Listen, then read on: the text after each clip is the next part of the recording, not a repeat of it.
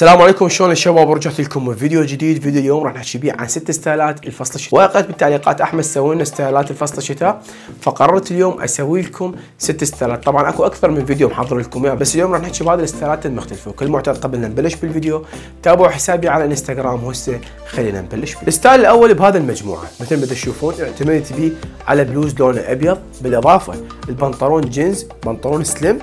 أما بخصوص الحذاء اعتمدت به على البوت الشاموا وأكيد الإضافة الأخيرة اللي هي القمصله الجلد مثل ما تشوفون وبهذا الشكل. هذا ال style جدا مريح وشيك كاجوال ومميز بنفس الوقت. ال style الثاني بهذا المجموعة تقريبا يشبه ال style الأول بس أنا غيرت. بدل البلوز الأبيض استخدمت قميص أبيض واستخدمت الرباط الأسود.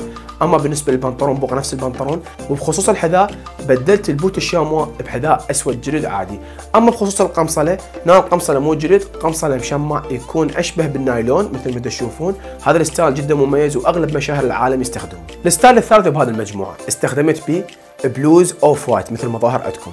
أما بالنسبة للبنطلون الجينز بهذا اللون. أما بخصوص الحذاء فهنا استخدمت ال Nike الأسود هذا طرحه جديدة شركة Nike. يكون الحذاء عبارة عن سواد حتى علامة ال Nike تكون علامتها سوداء مثل ما ظهر عندكم بالصورة. وبخصوص الجاكيت استخدمت هذا الجاكيت الأسود وصار عندي style مريح أقدر أستخدمه بأي مكان أروح له بفصل الشتاء. ال style الرابع بهذه المجموعة استخدمت فيه قميص أبيض فوقه بلوز لونه وردي.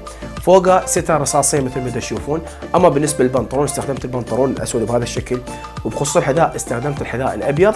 اللي يكون علامته جوتشي تقدرون تستخدمون جوتشي وتقدرون تستخدمون الأبيض الخالي من العلامات تماما. هذا style شتوي مميز تقدرون تستخدموه بأغلب الأماكن. ال style الخامس style casual ومريح تقدرون تستخدموه بأي مكان تروحون. استخدمت بيه البلوز الخردلي فوقه جاكيت جينز بهذا اللون.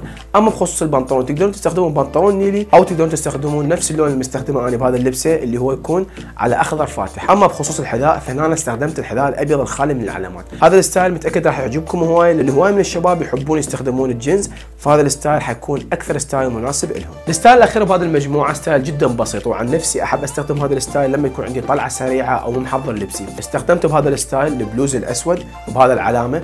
تقدرون تنوعون بالألوان أسود أو أبيض أو أصفر أي لون يعجبكم. أما بخصوص البنطلون الجينز استخدمت هذا اللون من بناطيل الجينز وبخصوص الحذاء استخدمت هالمرة الحذاء الرياضي اللي يكون ضخم من شركة New Balance مثل ما تشوفون عندكم بالصورة. هذا ال style مريح نقدر نستخدمه بالطلعات السريعة بالمشاوير السريعة. أتمنى تكونوا استفادتوا من فيديو اليوم. لا تنسون الاشتراك بالقناه اذا مشتركين فعلوا زر التنبيه حتى يوصلكم كل جديد أول بأول. تحياتي لكم.